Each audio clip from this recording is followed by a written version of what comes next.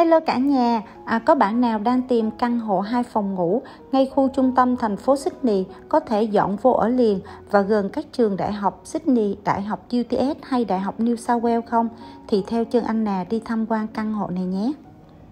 Dự án này có tổng cộng 60 căn hộ từ 1 đến 3 phòng ngủ với diện tích từ 52 m2 cho đến 96 m2 vừa mới được hoàn thành và có thể dọn vào ở liền.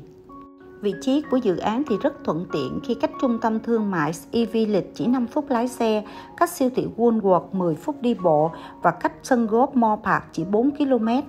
Đặc biệt, cách trường Đại học Sydney, Đại học UTS khoảng 4 km và còn gần hai trường phổ thông trung học chuyên ở Sydney là Sydney Girls và Sydney Boys, cách trung tâm thành phố Sydney 3,8 km. Và bây giờ mình cùng đi vào phía bên trong để tham quan trực tiếp dự án nhé. Dự án này thì vừa mới được hoàn thành và cư dân đang được phép dọn vào để ở. Khu vực chung thì không có hồ bơi, không có phòng gym, nhưng có một công viên nhỏ ở phía dưới và một phòng cộng đồng để cho mọi người cùng sử dụng chung. Và bây giờ Anna mời cả nhà cùng tham quan căn hộ ở tầng 2, có hai phòng ngủ, hai nhà vệ sinh và một chỗ đậu xe.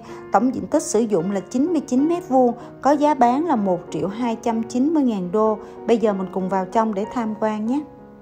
Căn hộ này được thiết kế rất là thông thoáng, tất cả các phòng ngủ đều có ban công, phòng khách cũng có một ban công riêng, toàn bộ sàn sẽ được lát gỗ, trong các phòng thì được trải thảm. Toàn bộ nhà và trong các phòng ngủ đều đã được lắp đặt sẵn hệ thống máy điều hòa. Căn hộ này sẽ có hai nhà vệ sinh và đây là nhà vệ sinh chung sử dụng cho cả phòng khách và phòng ngủ. Nhà vệ sinh này có kích thước tương đối lớn, có phòng tắm kính đứng. Đây là căn hộ mới nên người mang quốc tịch Việt Nam vẫn có thể sở hữu vĩnh viễn, được ở, được cho thuê và mua đi bán lại một cách dễ dàng. Đây là căn phòng ngủ thứ nhất. Phòng ngủ thì được trải thảm, có tủ âm tường, có hệ thống máy điều hòa và đặc biệt là có ban công nên rất là thoáng mát. Nếu bạn là người Việt Nam muốn sở hữu căn hộ này thì bạn phải xin giấy phép đầu tư FIRB với chi phí là 28.200. Ngoài ra, bạn cần phải đóng thêm thuế trước bạ stamp duty là 157.205 đô. Hai loại chi phí trên bạn chỉ đóng một lần lúc mua bán nhà và hàng năm chính phủ Úc còn thu thêm thuế đất là 4% trên tổng giá trị miếng đất bạn sở hữu. Thuế đất của căn hộ sẽ rẻ hơn rất nhiều so với bạn mua nhà. Mức thuế đất hàng năm dành cho căn hộ này khoảng từ 5.000 đô. Và đây là căn phòng ngủ thứ hai. Căn phòng ngủ này sẽ rộng hơn, có toilet riêng và có hệ thống tủ âm tường rất là lớn. Ngoài ra còn có đường đi ra ngoài ban công nên rất là thoáng mát. Các chi phí khác mà hàng năm bạn cần phải trả bao gồm phí cao sổ khoảng 1.500 đô một năm và phí nước thì khoảng 750 đô một năm. Đây là nhà vệ sinh thứ hai nằm ở trong phòng ngủ master. Như vậy là Anna vừa mới liệt kê cho cả nhà một số những cái chi phí mà khi sở hữu căn hộ tại Úc thì mình cần phải đóng hàng năm. Khi mua căn hộ này thì cả nhà sẽ được tặng thêm máy sấy quần áo ở trong khu vực phòng giặt đồ. Và bây giờ Anna sẽ chia sẻ về quy trình thanh toán của căn hộ này như sau. Phí giữ chỗ là 5.000 đô. Sau khi ký hợp đồng, bạn sẽ đặt cọc 10%. Khi nào nhận nhà, bạn mới thanh toán 90% còn lại.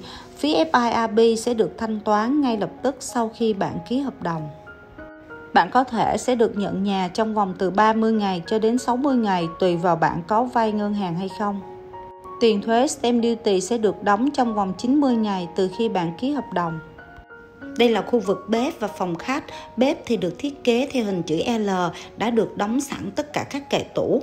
Khu vực bếp đã được lắp đặt sẵn tủ lạnh, bếp ga, máy hút mùi, lò nướng, lò vi sóng, máy rửa chén. Khu vực phòng khách rộng và thông thoáng nhờ có một ban công rộng. Căn hộ này được thiết kế có hai lớp cửa, một lớp cửa lưới để chống côn trùng và một lớp cửa kính để chống tiếng ồn. Và đây là view nhìn từ tầng 2 của căn hộ. Khi mua và sử dụng căn hộ tại Úc thì hàng tháng bạn sẽ phải đóng phí quản lý căn hộ. Thì bên Úc họ sẽ thu 3 tháng một lần. Phí quản lý căn hộ Strata cho căn hộ này là khoảng 1.000 đô cho 3 tháng. Và bây giờ anh Nà mời cả nhà cùng đi tham quan khu barbecue. Khu vực này thì có bồn rửa, có lò nướng, được sử dụng chung cho toàn bộ cư dân sống tại đây.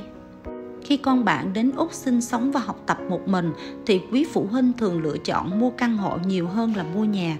Vì ở căn hộ con bạn sẽ được an toàn hơn, có camera giám sát 24 tiếng. Ở căn hộ sẽ có người quét dọn khu vực hành lang chung bạn không phải mất chi phí để làm vườn cắt cỏ. Thuế đất của căn hộ cũng sẽ rẻ hơn rất nhiều so với bạn mua nhà và bây giờ Anna mời cả nhà cùng xuống tầng trệt để tham quan phòng cộng đồng. Phòng cộng đồng này là nơi để bạn có thể tiếp bạn bè hoặc là giao lưu với các cư dân sinh sống ở đây. Xin cảm ơn cả nhà đã theo dõi video. Nếu cả nhà có nhu cầu đến Úc tìm hiểu về bất động sản, xin vui lòng liên hệ Việt Úc Home số điện thoại Zalo 0914770675 gặp Anna Nguyễn. Xin cảm ơn.